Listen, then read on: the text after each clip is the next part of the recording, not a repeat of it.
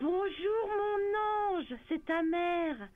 Oh, on n'entend pas beaucoup parler de toi ces temps-ci, hein Ne t'inquiète pas, ton père et moi allons très très bien.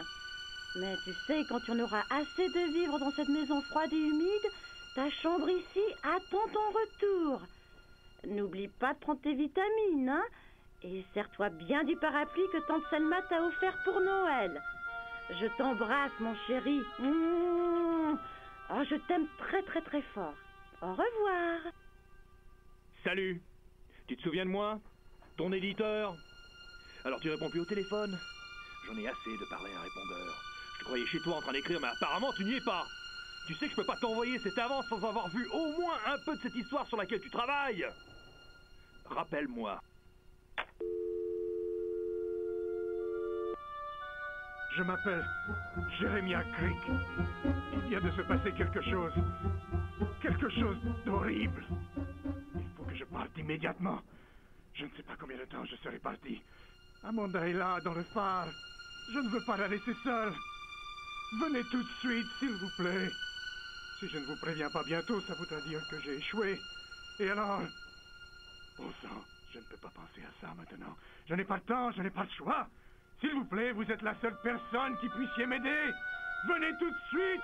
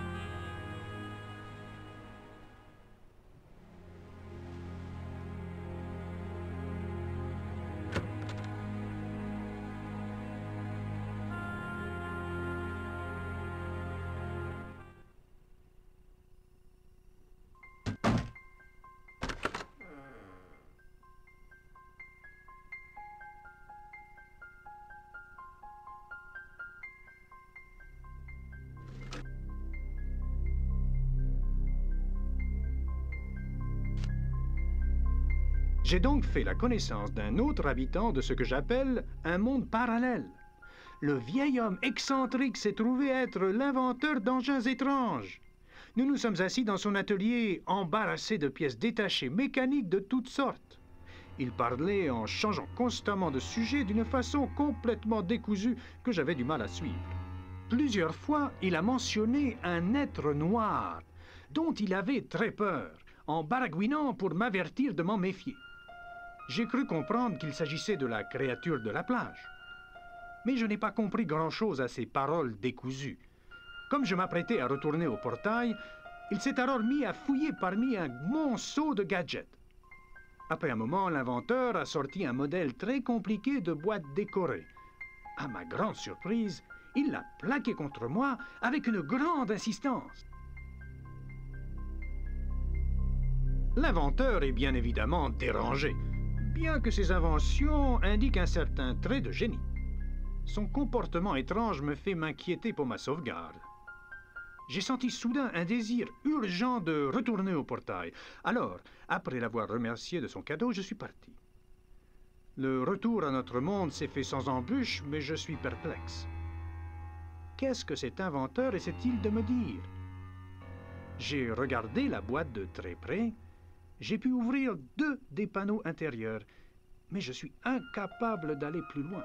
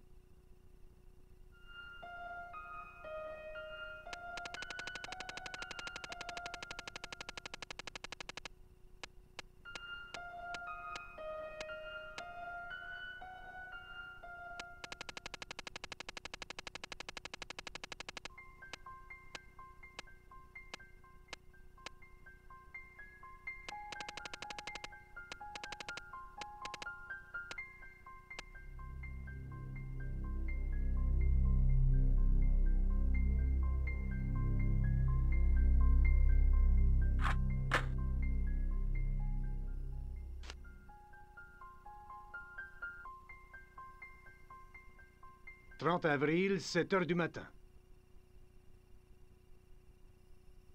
Époustouflé.